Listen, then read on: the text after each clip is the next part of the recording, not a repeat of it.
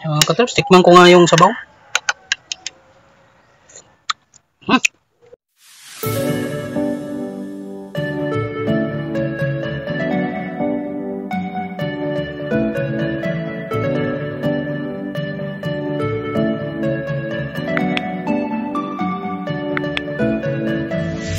Alright mga katrops, so ito yung tabon-tabo natin. Ito yung kukuskusin natin. Ganito. Ayan, ito yung panghalo natin sa kinilaw na tanigi. Okay. So, ganyan lang. Tapos lalagyan natin mamaya ito ng tuba.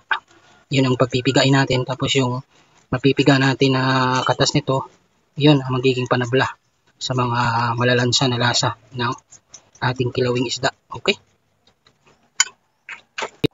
Ayan, wala nang laman mga katrops. So, nakainin natin lahat. Ayos. Ayan mga katrops. So, ito na yung kinilaw natin na malasuge. Okay? Ayan yung, ito yung malasuge natin na isda. Ito yung tabon-tabon. Nilagyan ko na ng tuba. Ito yung tuba natin. Yung sasabaw natin. Okay? Lime. Kalamansi. Luya. Sili. At sibuyas. Okay? So, ihalo lang natin dyan. Okay? Let's go. So, ito mga katros, pipigaan muna natin to. Kuhanin muna natin yung katas. Yun ang ilalagay natin doon. Okay?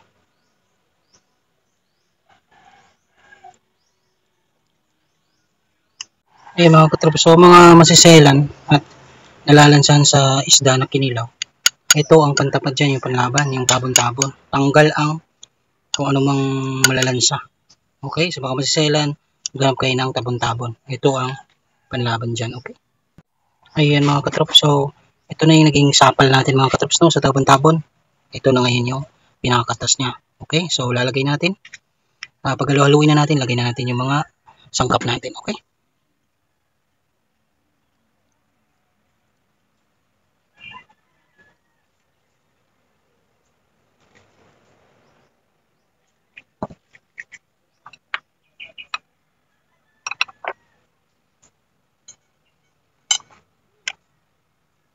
Sibuyas at sili.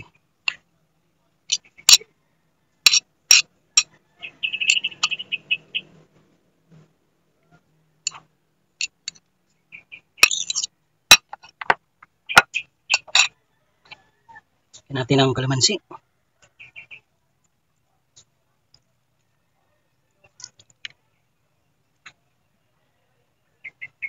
Isa pa.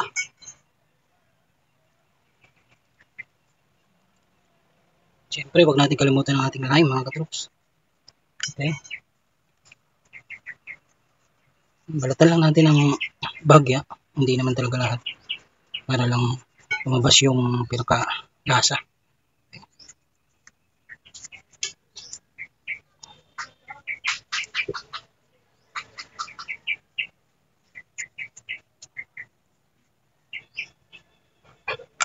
Ayan. Tapos lalagyan natin ang ating tuba.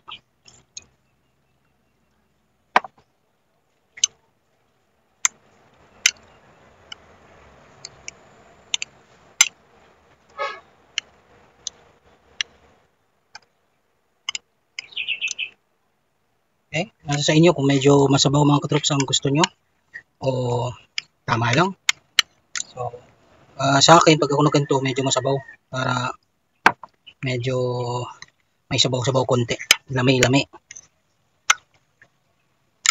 Okay, pwedeng pigain yung lime. Ayan. Para manuot yung lasa.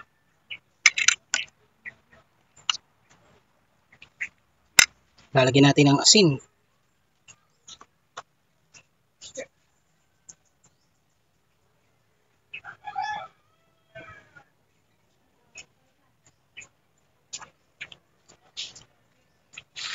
Ayan mga katrops, so, lagyan natin ng asin.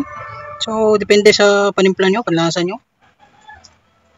Okay. Gaano kayo kataas maglagay ng asin.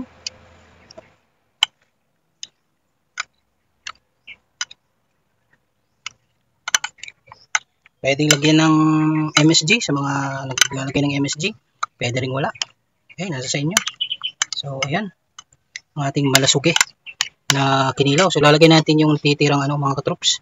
Tirang katas. Ayan. sabi ko nga sa mga hindi kumakain ng kinilaw, hindi pa nakatry dahil ah, sinasabi nilang malansa yung isda. Tabon-tabon ang katapat dyan mga katrops. Ang tawag dyan, tabon-tabon.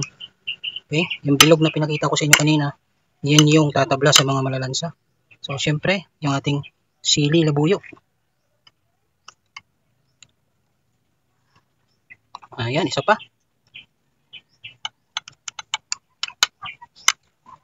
Dito naman sa kabila.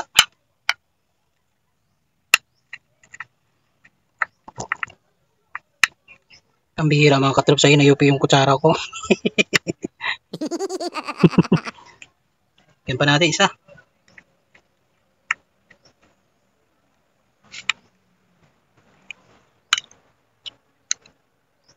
Bahan natin isa pa mga troops.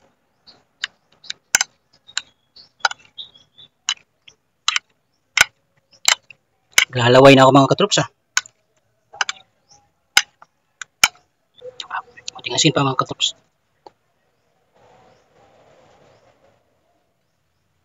Ayan.